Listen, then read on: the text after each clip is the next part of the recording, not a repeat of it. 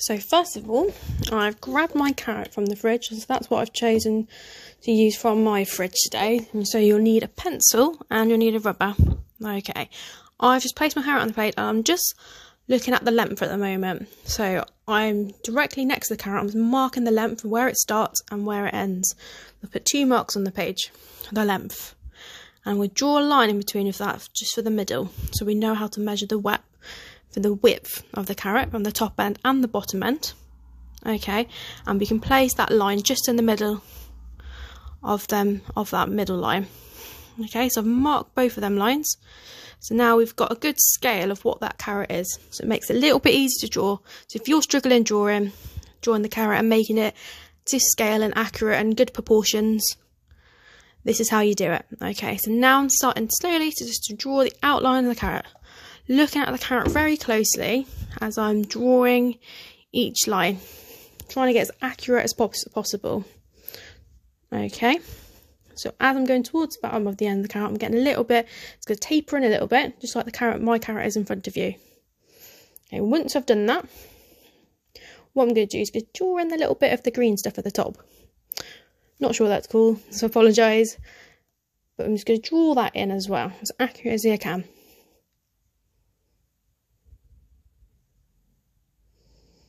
Okay, once that's done, you can rub out all your guidelines. So the ones you've drawn for the length and the ones you've drawn for the width as well. And that's what I'm doing just here.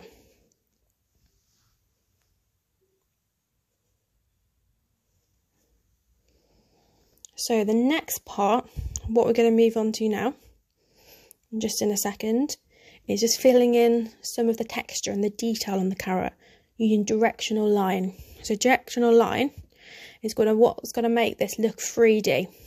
That's what I'm showing you with my pencil at the top of the carrot. It's that curved line to make it look three dimensional. Okay, so you're filling in the different textures. You've got little liney textures all over the carrot. So I'm just going to draw them textures on. Okay, so using directional line, curving the line when we're getting towards the, the edges of the carrot and making it straighter when, when we're doing it across. It's important, whatever fruit or vegetable, or whatever you're using in your fridge, to include directional lines if you need to, if it is a sort of rounded 3D object. And it's quite important to include the texture as well. If you're just drawing just an outline of the fruit or vegetable, it's going to look very flat and very 2D. If you want it to look three direct, three dimensional, it is important to add them textures in and add the correct shading and tone and little bits of textures as well to make it a bit more realistic. So I'm just carry on drawing them textures on the vegetables at the moment.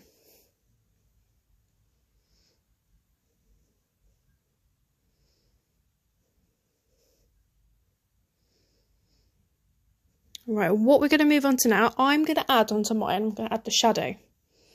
That'll also make it a little bit, more realistic if you're going for that. If you're struggling with drawing the outline and you're drawing the texture and the directional line, you don't need to include this. This is a little extra if you want this a little extra piece if you want to push yourself.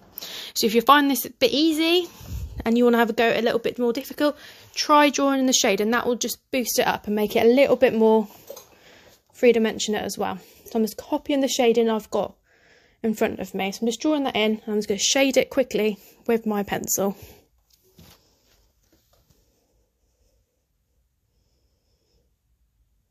Brilliant. Once we've shaded all that, that in, Okay, then we're going to move on to the next video and we're going to discuss painting it with watercolours. You don't, if you don't have any watercolours, you can also use pencil crayons and you can use felt tips. Okay. So first of all, I've grabbed my carrot from the fridge, so that's what I've chosen to use from my fridge today.